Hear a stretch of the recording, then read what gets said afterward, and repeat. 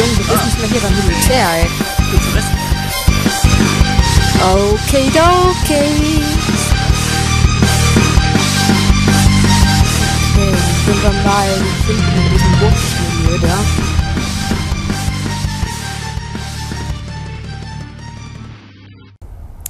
So, ihr Lieben, da sind wir auch schon wieder zu Let's Play Black Mirror 2.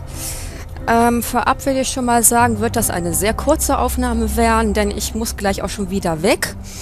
Ähm, wir werden uns hier so ein halbes Stündchen uns so ein bisschen vergnügen. Ja, und ich muss es ja auch noch rendern und ich bin in zwei Stunden bin ich schon weg für ein paar Tage. Äh, mein lieber Bruder, der Yabu LP, der wird für mich die Folgen hochladen. Und ähm, damit wir auch die Tage gut ausgefüllt haben, werde ich jetzt hier eine ganz klitzekleine Aufnahme machen. Gut, ähm, wir müssen, was müssen wir machen? Ähm, was war denn jetzt hier unsere Aufgaben? Neueste Aufgabe. Ach ja, genau, Fuller aus dem Laden locken. Mhm.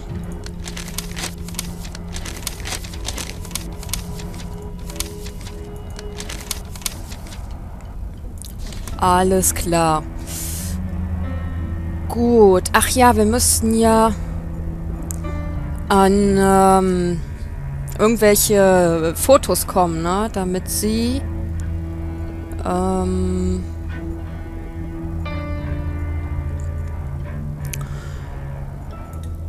zu diesem Fuller geht und ihn aus dem Haus lockt. Dann schauen wir mal, wo wir diese Bilder herbekommen. So, wir sind jetzt hier in dem Trödelladen vielleicht. Vielleicht hat der ja irgendwelche Bilder, die wir ihm irgendwie abkaufen können. Ähm, schauen wir mal. Ich habe das jetzt gar nicht mehr so richtig in Erinnerung, was der da alles rumstehen hatte. Äh, doch, der hat hier Bilder. Ähm, fragen wir ihn einfach mal. Was denn?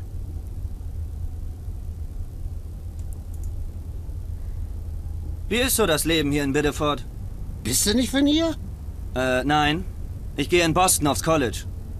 So ein Intellektueller bist du, so ein Schreibtischtäter. Eine Eierbirne, die den ganzen Tag schlau daherreden kann? Nein, ich bin... Dann bist du so ein Künstlertyp. Bist deprimiert und nimmst Drogen. Hast eine Selbsthilfegruppe wegen der Probleme. Nein, ich studiere Physik. Naja, kann man brauchen. Warum bist du hier? Ich besuche meine Mutter in den Semesterferien. Sie wohnt seit einigen Monaten hier. Rebecca Michaels. Nett dich kennenzulernen, Rebecca. Oh Mann. Oh Gott. Der Typ hat auch nicht mal alle Latten am Zaun. Äh. Krankenhaus. Meine Mutter liegt hier im Krankenhaus. Und? Meinen Sie, dass sie dort gut aufgehoben ist? Ist sie krank? Dann wird sie in einem Krankenhaus nicht schlecht aufgehoben sein. Nein, ich meine, ob die Ärzte hier gut sind. Woher soll ich das wissen? Meinst du, nur weil ich alt bin, laufe ich jeden Tag zum Onkel Doktor und heule mich aus? Ich war seit Jahren bei keinem Kurpfuscher mehr. Ich bin kerngesund. Ja, ja. Früher waren die Leute noch aus anderem Holz geschnitzt, was? Komm du in mein Alter, dann reden wir weiter. Mutter. Kennen Sie meine Mutter zufällig? Nee, ich gehe nicht viel raus. Was will sie hier? Frische Seeluft, wa? Könnte man so sagen, ja. Altersruhesitz. Was kommt denn jetzt?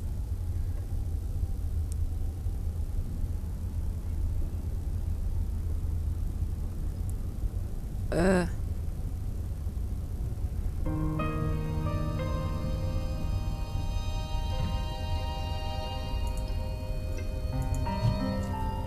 Was kommt denn jetzt?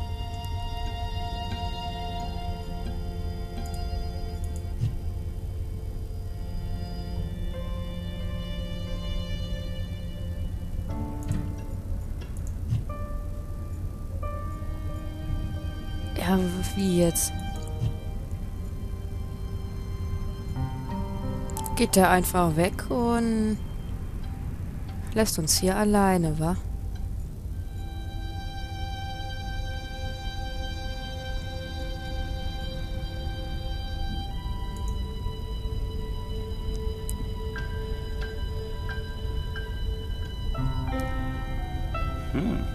Die sehen aus wie Panzerfäuste.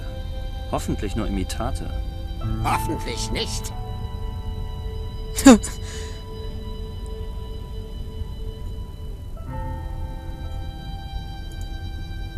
Funkgerät. Ein altes Funkgerät. Sieht ziemlich professionell aus.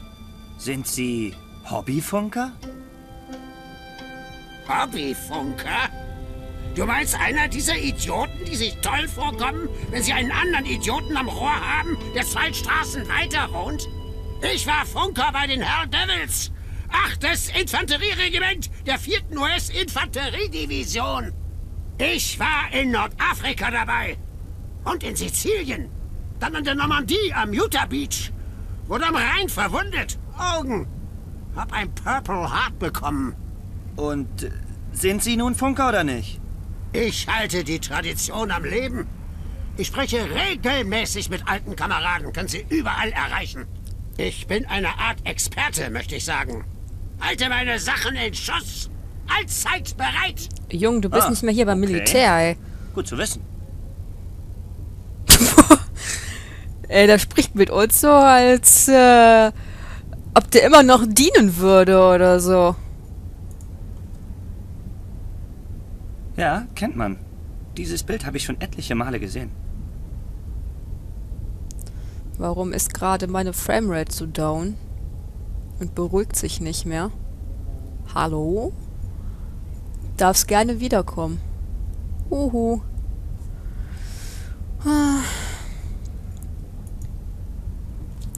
Ein Schrank, voll mit den verschiedensten Dingen. Bücher, ein Grammophon, Kisten, Messgeräte. Willst du was kaufen? Ich schaue mich erst einmal um. Wir brauchen Bilder.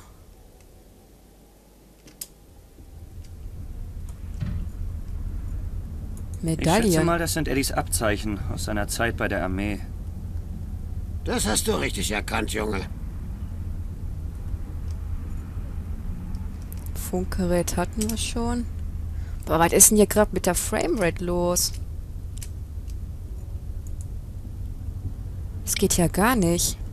Meine Star Wars-Figuren gefallen mir besser. Ob Lucas jemals den vierten Teil drehen wird?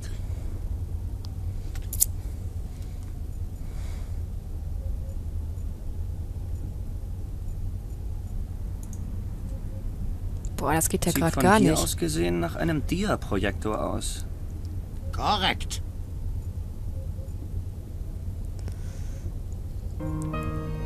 Gut, dann gehen wir mal wieder raus, denn ich denke mal nicht, dass wir hier Bilder bekommen. Ich hoffe, dass meine Framerate sich jetzt mal hier so ein bisschen beruhigt. Ich äh, kraxle ja mal zwischen 8 und 12 rum. Ah, jetzt gehen wir doch wieder...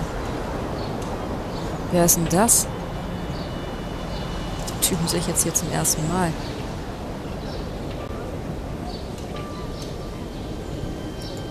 Dann wollen wir dem mal hinterherlatschen. Wer ist denn das? Hm, jetzt ist er weg. Oder müssen wir selber Fotos schießen?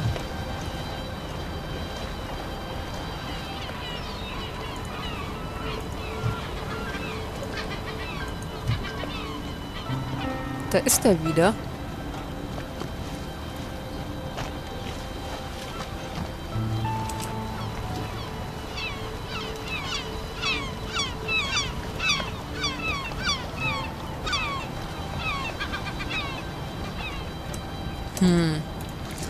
Bekommen wir Bilder her? Möchte ich mal gerne wissen.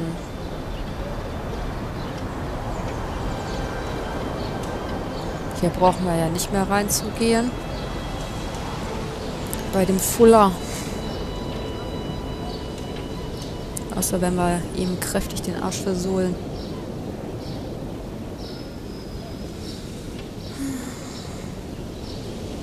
Polizei. Statue. Muss man vielleicht die Statue fotografieren. Meine Spiegelreflexkamera mit Blitzlicht. Ohne gehe ich nicht aus dem Haus. Okay.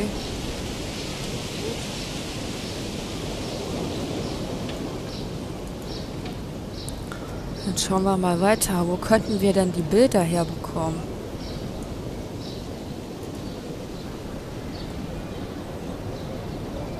Ein Münzfernsprecher. Hm. Außer Betrieb steht da. Okay, dann äh, machen wir mit dem Telefon nix. Und gehen mal zu Muttis Haus. Aber wo kriegen wir Bilder her? Hier hängen Bilder.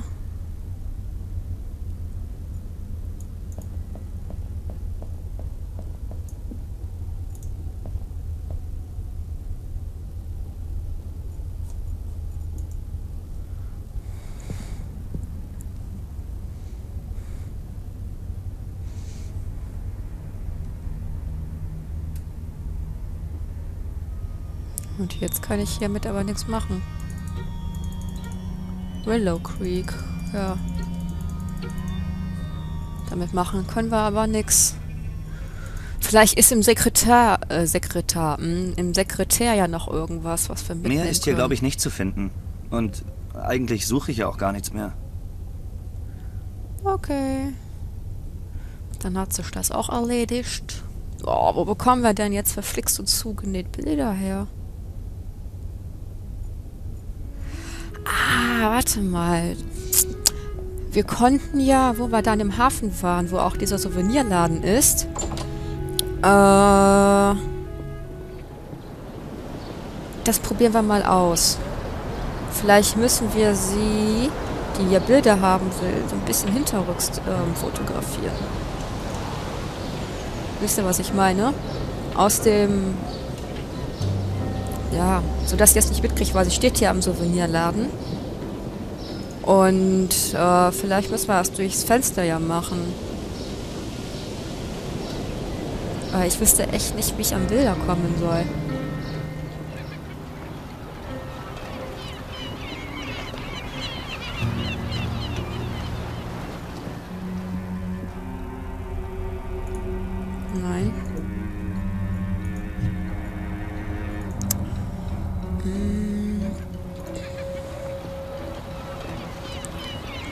Vielleicht geht das ja, was ich vorhabe. Eigentlich kann man in dem Laden nur Touristen-Map kaufen. Aber die Post liefert auch die Pakete für die Nachbarschaft hier ab.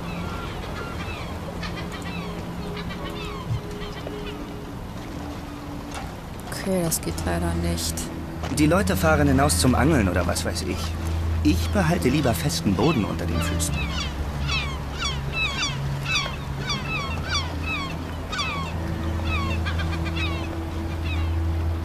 Eine glatte Metallstange. Sie ist aus dem Gelände rausgebrochen. Kann man die mitnehmen? Sie ist ziemlich schwer.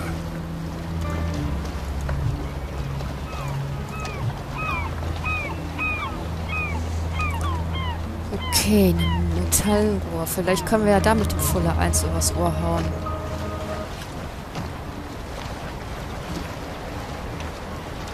Aber ich frage zum Strand. Jetzt brauche ich die Abzüge von Angelinas Fotos. Ach so. Ich mache mich doch lächerlich, wenn ich dort ohne aufkreuze. Hm.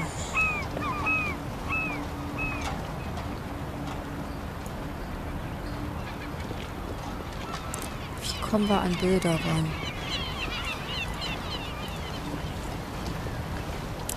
Ich habe vielleicht gedacht, ne, durch das Fenster und so, dass das vielleicht geht. Hm. Ich kann nicht zurück in den Laden, solange Fuller dort hockt. Ich muss ihn aus dem Laden locken. Dann kann ich mir Angelinas Bilder organisieren und sie in seiner Dunkelkammer entwickeln.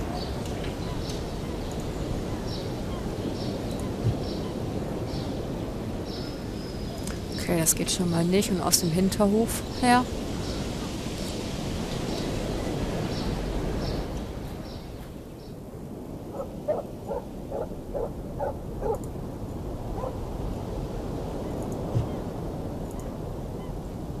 Auch es nicht, bringt ne? doch nichts, wenn ich mich da wieder reinschleiche. Ich muss erst Fuller aus dem Laden locken, damit ich mich um Angelinas Fotos kümmern kann. Tja, wo kriegen wir Bilder her? Das ist eine ganz gute Frage. Nein, keine Chance. Ich muss irgendwie mehr Kraft aufbauen, um das Gitter anzuheben.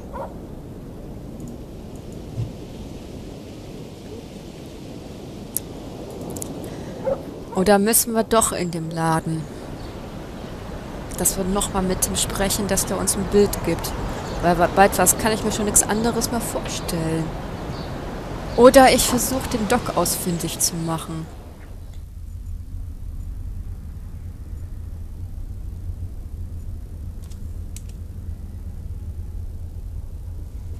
Was ist denn das? Ach, das blöde Funkgerät. Regale mit unnützem Krempel. Wenn du nur meckern willst, verschwinde.